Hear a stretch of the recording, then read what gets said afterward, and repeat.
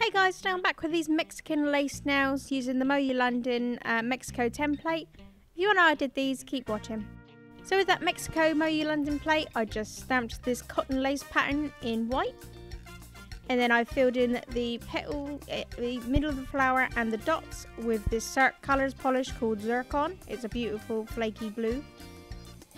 And then around the petals, I just painted with a gold Left that on the side to dry while I painted my nails with this polish. It's from China Glaze. It's called Señora Flora.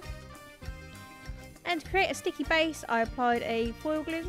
And once that had gone tacky, I just stamped on the decal.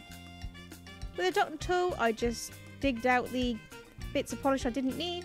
And then with a brush and acetone, I just removed, removed the extra polish. Here I am just painting my index and pinky fingers with that same Colors Polish Zircon. It is so gorgeous. I love this polish. And then I just applied a top coat. And there you go, these Mexican lace inspired nails. If you like these, give this video a thumbs up, leave a comment below, and subscribe. Subscribe good. Thanks so much for watching. Bye!